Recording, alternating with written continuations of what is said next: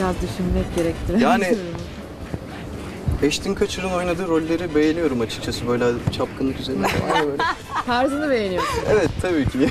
Peki sen çapkın bir adam mısın? Hayır değilim ama olmadığım için belki o yönümü normal hayatta e, yok yani öyle bir yönüm olmadığı için bunu sinemada olmak istiyorum. Gerçek hayatta öyle bir insan olmak istemiyorum. Yani Değilim de zaten. Ulusoy çapkın bir adam değildir mi? Yok kesinlikle değilim.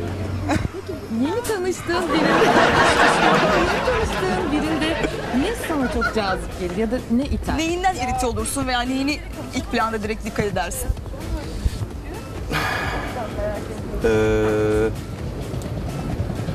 tabii ki dış görünüşü çok önemlidir. Ama onun yanı sıra hani bakar insan böyle bakar.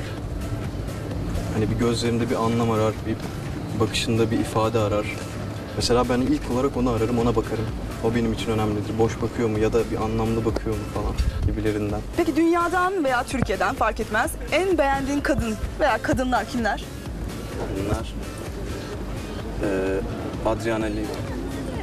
Adriana Lima diye böyle Söylemezsen ayıp zaten. Adriana Lima. Direkt hepsinin ağzından aynı isim. Adriana Lima.